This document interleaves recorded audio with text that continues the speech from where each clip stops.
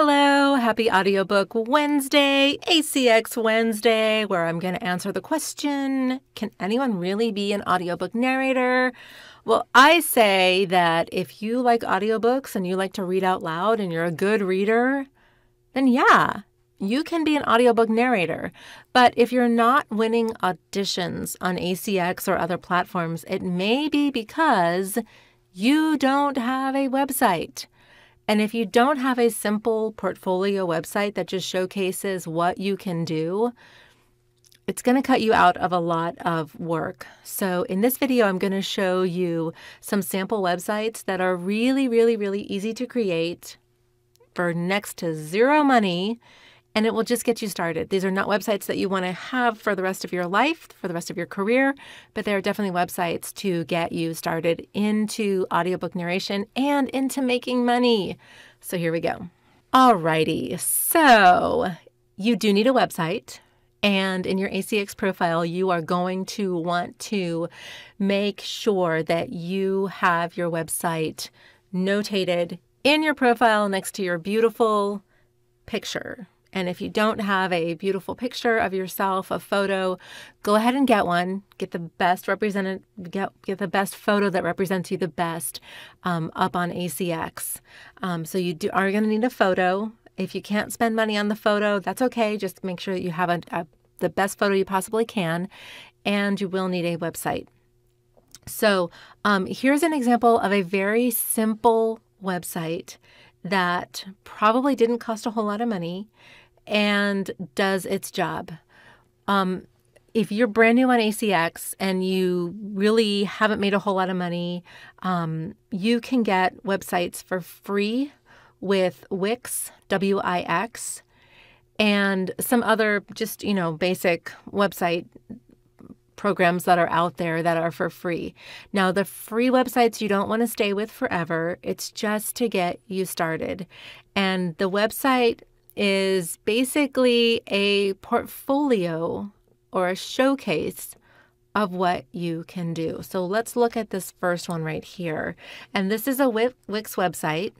Um, the name of this narrator is Jane de la Benfel. I actually don't know how to say her name. And I don't know Jane, but I'm really impressed that she has a website. I think it's awesome. So good for you, Jane. Um, and in her, her website, she's got some links where we can click to hear a sample of her narrating some different books. It's really important for you to have a website. Authors need to be able to listen to what you can do. They've got your audition that you've, you know, presented to them, but you've also got to have something else that they can see to know that they can trust you with their audiobook. Remember, authors have spent a lot of time writing the, their book. And if they're going to go ahead and spend the money and have a narrator narrate an audiobook, they want it to sound good. So they do want to hear some proof that you can do a good job with their book. And that is just, you know, with samples of stuff that you've narrated.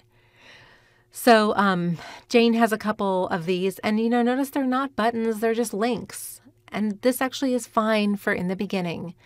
As you get moving, as you make some money, you're going to want to make a nicer, more professional looking website, but this is fine for the beginning. It's better to have this.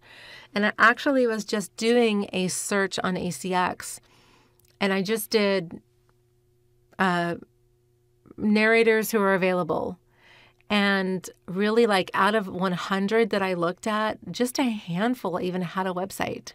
So just creating a website with just some samples like this that's on, on Jane's page we'll put you ahead of the competition, I promise. So, um, you know, audiobook narrating, it's not for the faint of heart. It's not just like, oh, I just do it. I just get some crappy microphone and start making money you're going to have to put some effort into this, and having a website is really important. Let me show you another example of a website that will work when you first get started. And this is um, Celestia Voiceovers, and it's just a portfolio. I'm not sure how she made it, but um, just here's just like links from obviously books that she has not narrated professionally, that she's probably not been paid to, to do. But it's just, these are just samples so we can hear what it sounds like. All right. And this is totally 100% fine. Um, you want to make sure you do have a website. Um, and I've got some other videos that you can watch about how to um, present your samples on your ACX profile and some other videos that show how to, um, you know, just have a have a good eye-catching profile. Uh, check that out in the playlist that I'll have at the very end of this video. If you are maybe not making money on ACX, maybe it's time to join a community of like minded voice actors who want to make money doing voiceovers on ACX or doing audiobooks.